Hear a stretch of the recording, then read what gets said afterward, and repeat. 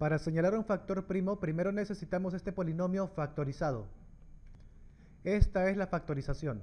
Para saber cómo se ha factorizado, por aquí arriba está el video donde se explica paso a paso esa factorización. Los factores primos resultan de los que quedaron por aquí multiplicándose.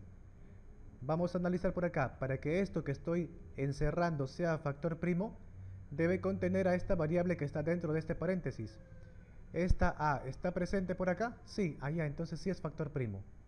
Por acá, también está por acá, así que esto que encerré también es factor primo. No se olviden que aunque hubiera un exponente, por ejemplo, exponente 4, para factor primo no se tomen en cuenta los exponentes, ¿de acuerdo? Listo. Ahora por acá, alternativa A. 3A más 2, ¿será o no será factor primo? No, ¿verdad? Porque no aparece en lo que encerré. 3a menos 1, allá, ese sí está. Así que este es el factor primo que estábamos buscando. Fin del ejercicio.